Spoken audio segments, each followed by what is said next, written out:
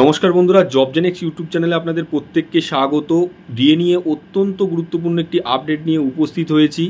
আপনারা প্রত্যেকে জানেন, আজকে অর্থাৎ উনতিরিশে জানুয়ারি থেকে কিন্তু সংগ্রামী যৌথ মঞ্চের তরফ থেকে যে ধর্মঘট ডাকা হয়েছিল অনির্দিষ্টকালের জন্য সেটা কিন্তু পিছিয়ে দেওয়া হলো। কেন পিছিয়ে দেওয়া হলো? সেটা আপনাদের বিস্তারিত এই ভিডিওতে জানিয়ে দেবো। আপনারা প্রত্যেকে জানেন যে ফেব্রুয়ারি মাসের দু তারিখ থেকে কিন্তু মাধ্যমিক পরীক্ষা শুরু হতে চলেছে এবং ফেব্রুয়ারি মাসের ষোলো তারিখ থেকে উচ্চ মাধ্যমিক পরীক্ষা শুরু হতে চলেছে। সেই কথা মাথায় রেখে বিভিন্ন শিক্ষা সংস্থা এবং অভিভাবকদের অনুরোধে সংগ্রামী যৌথ মঞ্চের যে লাগাতার ধর্মঘট ছিল, সেটাকে কিন্তু পিছিয়ে দেওয়া হলো এবং পিছিয়ে দিয়ে সেটা মার্চে নিয়ে যাওয়া হয়েছে। এবার আপনাদের কাছে অনেকের কোশ্চেন আসবে যে মার্চের পরে এপ্রিলে তো ভোট রয়েছে।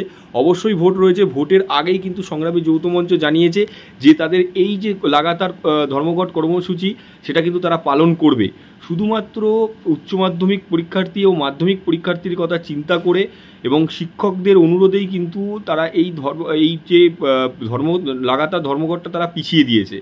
এক্ষেত্রে সংগ্রামী যৌথ মঞ্চে কালকে থেকে যে কর্মসূচি আজকে থেকে যে কর্মসূচি রয়েছে, সেটা হলো কালো ব্যাচ ধারণ করে বিভিন্ন সরকারি কর্মীরা সরকারের প্রতিবাদ জানাবে। আপাতত যে লাগাতার ধর্মঘট, তা স্থগিত রাখা হলো এবং মার্চ মাসে যৌথ মঞ্চ শুধুমাত্র ছাত্রছাত্রীদের কথা চিন্তা করেই, শুধুমাত্র তাদের কথা চিন্তা করেই কিন্তু তাদের যে লাগাতার ধর্মঘটটা তারা পিছিয়ে দিয়েছে। কিন্তু অবশ্যই মার্চ মাসে পুনরায় এই লাগাতার ধর্মঘট শুরু হবে। গুরুত্বপূর্ণ আপডেট ছিল, ভিডিওর মাধ্যমে তুলে ধরলাম। অবশ্যই লাইক করে বন্ধুদের মাঝখানে শেয়ার করে দেবেন। ধন্যবাদ।